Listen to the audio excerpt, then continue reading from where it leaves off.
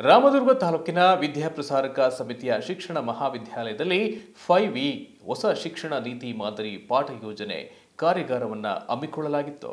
ವಿದ್ಯಾರ್ಥಿಗಳು ಕಲಿಕೆಯಲ್ಲಿ ನಿರಂತರವಾಗಿ ತೊಡಗಿಸಿಕೊಳ್ಳಬೇಕೆಂದು ಶಿಕ್ಷಕರ ಕಿವಿಮಾತು ಪಟ್ಟಣದ ವಿದ್ಯಾಪ್ರಸಾರಕ ಸಮಿತಿಯ ಶಿಕ್ಷಣ ಮಹಾವಿದ್ಯಾಲಯದಲ್ಲಿ ಏರ್ಪಡಿಸಿದ್ದ ಫೈವ್ ಇ ಆಧಾರಿತ ಪಾಠ ಯೋಜನೆಯ ಕಾರ್ಯಾಗಾರದಲ್ಲಿ ಪಾಲ್ಗೊಂಡು ಮಾತನಾಡಿದ ವಿಜಯಪುರ ಮಹಿಳಾ ವಿಶ್ವವಿದ್ಯಾನಿಲಯದ ಶಿಕ್ಷಣ ಶಾಸ್ತ್ರ ವಿಭಾಗದ ಸಹಾಯಕ ಪ್ರಾಧ್ಯಾಪಕ ಡಾಕ್ಟರ್ ಪ್ರಕಾಶ್ ಬಡಿಗೇರ್ ರವರು ತರಬೇತಿ ಹಂತದಲ್ಲಿ ಪ್ರಶಿಕ್ಷಣಾರ್ಥಿಗಳು ಚಟುವಟಿಕಾತ್ಮಕ ಬೋಧನೆಯನ್ನು ರೂಪಿಸುವ ಪ್ರಯುಕ್ತ ಸರ್ಕಾರ ಸೂಚಿಸಿರುವ ಫೈ ಇ ಆಧಾರಿತ ಬೋಧನಾ ಚಟುವಟಿಕೆಗಳು ರೂಪಿಸಿಕೊಳ್ಳಬೇಕು. ಹಾಗೂ ವಿದ್ಯಾರ್ಥಿಗಳು ಕಲಿಕೆಯಲ್ಲಿ ನಿರಂತರವಾಗಿ ತೊಡಗಿಸಿಕೊಳ್ಳಬೇಕೆಂಬ ಸದುದ್ದೇಶದಿಂದ ಸರ್ಕಾರ ವಿವಿಧ ತರಬೇತಿ ತಂತ್ರಗಳನ್ನು ರೂಪಿಸಿದ್ದು, ಅವುಗಳಲ್ಲಿ ಫೈವ್ ಇ ಆಧಾರಿತ ಬೋಧನಾ ತಂತ್ರವು ಪ್ರಮುಖವಾಗಿದೆ. ಅವುಗಳನ್ನು ತರಬೇತಿ ಹಂತದಲ್ಲಿ ಮೈಗೂಡಿಸಿಕೊಂಡು ಪ್ರಶಿಕ್ಷಣಾರ್ಥಿಗಳು ಪ್ರಬುದ್ಧ ಶಿಕ್ಷಕರಾಗಬೇಕೆಂದು ತಿಳಿಸಿದರು.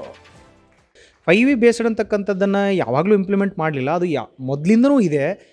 ಜೀನ್ ಪಿಯಾಜೆ ಅಂತಕ್ಕಂಥ ಒಬ್ಬ ಮನೋವಿಜ್ಞಾನಿ ಅವರು ಶಿಕ್ಷಣ ತಜ್ಞರು ಹೌದು, ಅವರು ಈ ಸಂರಚನಾವಾದ ಕನ್ಸ್ಟ್ರಕ್ಟಿವಿಸಮ್ ಅಂತಕ್ಕಂಥದ್ದನ್ನು ಮೊದಲು ಬಾರಿಗೆ ತಂದರು.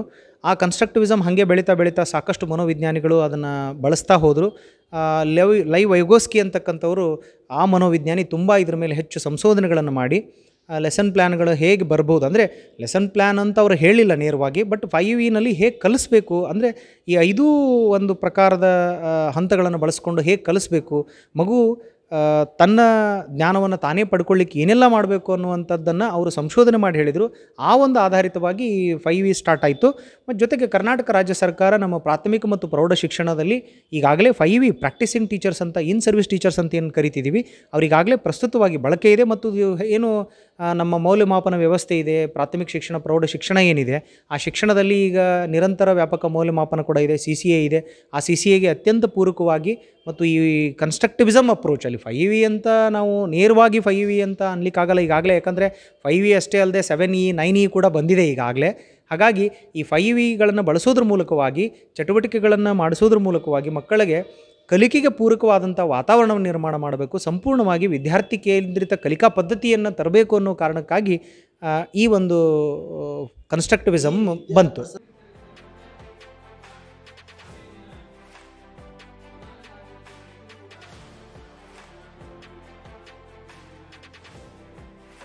Anand Lamani, TV twelve Kannada, Belagavi.